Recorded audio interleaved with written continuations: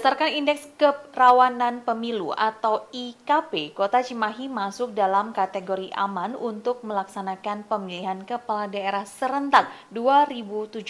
IKP dibuat tim dari Badan Pengawas Pemilu atau Bawaslu sebagai acuan untuk memetakan suatu daerah masuk kategori aman setengah rawan atau rawan.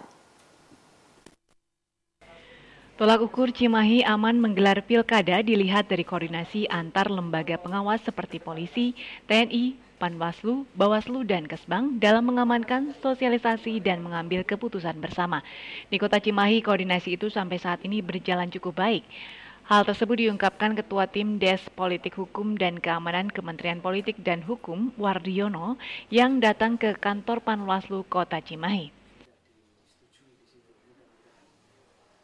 Dari 101 daerah, tidak lebih dari 20 daerah yang dinyatakan rawan, 30 daerah masuk kategori setengah rawan, dan sisanya relatif aman.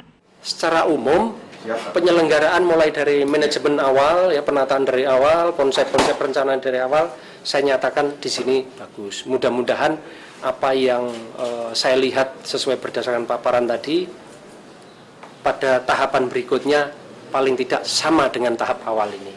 Dan bagusnya seperti apa ya Pak? Kriteria bagus itu kita bisa lihat ya kita bisa lihat uh, mengkoordinasikan antara yang satu dengan yang lain. Contoh aja saya contoh. Saya tadi uh, Gak Kumdu dari ketua menyampaikan ke saya penyamaan ya dalam organisasi Gak Kumdu ya. Ada kepolisian ada Kajari dan ada Panwas Panwas.